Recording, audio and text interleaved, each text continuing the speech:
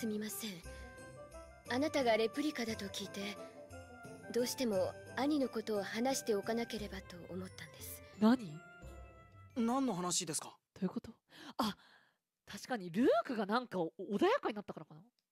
兄がなぜフォミクリーの技術を生み出したのかです。それそれそれそれめっちゃ聞きたい。今でも覚えています。あれは私が不注意で大切にしていた人形を壊してしまった日のことです。えどういうこと？その時兄はフォミクリーの元になる術を編み出して人形の複製レプリカを作ってくれたんです。へえ。なんか優しいやん。兄が9歳の時でした。天才か？信じられね元は人形を直してあげたかったっていうところから始まったってことか人形スタート。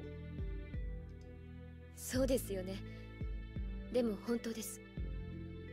普通なら同じ人形を買うのに兄は複製を作った。うん。その発想が普通じゃないと思いました。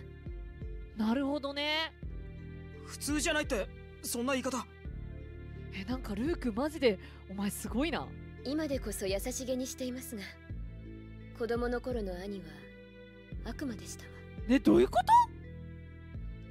と？大人でも難しい武術を使いこなし害のない魔物たちまでも残虐に殺して楽しんでいた。やばー！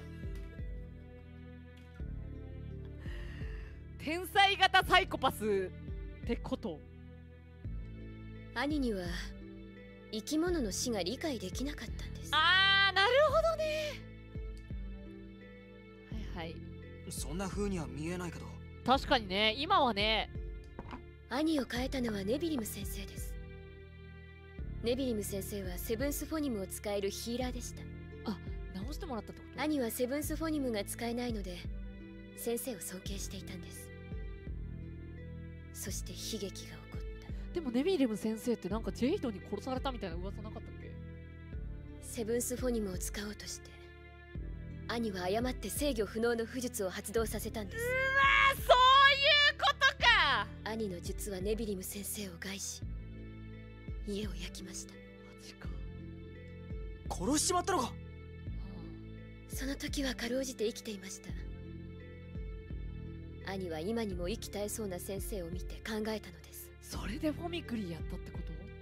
今ならレプリカが作れる。そうすればネビリム先生は助かる。はあ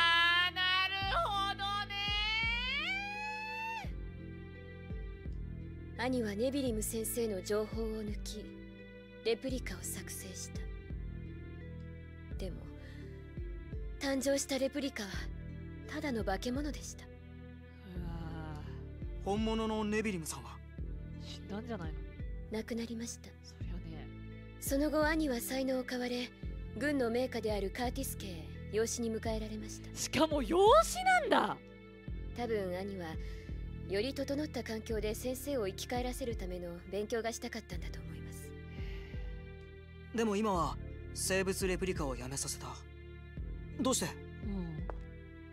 ピオニー様のおかげです。ええ。恐れ多いことですがピオニー様は兄の親友ですから。なるほどね。そうか。ピオニーってなんかいやどんなやつなんだろう気になる。でも本当のところ兄は今でもネビリム先生を復活させたいと思っているような気がするんです。そんなことないと思うけどな。すごいねルークめっちゃかばうやん。そうですね。杞憂かもしれない。どうなんだろうね。それでも私はあなたが兄の抑止力になってくれたらと思っているんです。え？レプリカだからってこと？話が長くなってしまいましたね。聞いてくださってありがとうございました。なんかさ人間って感じ。なるほどね。こりゃジェイドの口からは絶対話さんわ。ネフリーから話を聞きましたね。聞いてない。聞いてないし別に悪い子ですね。嘘をつくなんて。怖いよ。なんでバレたんだ？まあいいでしょう。言っておきますが私はもう先生の復活は望んでいません。そうなの？本当か？本当にか？うん。理由はあなたが一番よく知っているでしょ私はネビルム先生に許しを請いたいんです。自分が楽になるためにでもレプリカに過去の記憶はない。許してくれようがない。はあ。ジェイド。私は一生過去の罪に苛まれて生きるんです。なんか似てるなルークと。罪ってネビリムさんを殺しちまったことか。うん。そうですね。人が死ぬなんて大したことではないと思っていた自分かもしれませんあーでジェイドはもう今変わったんだ。俺俺だってレプリカを作れる力があったら同じことをしたと思う。ちょっと待ってルークお前優しすぎではお前すごいな。やれやれ。慰めようとしていますか？ルークなりのね。いささか的外れですが。ま気持ちだけいただいておきます。なるほどね。それよりこのことは誰にも言ってはいけませんよ。いいですか？わかった。約束しましたよ。複雑だわ。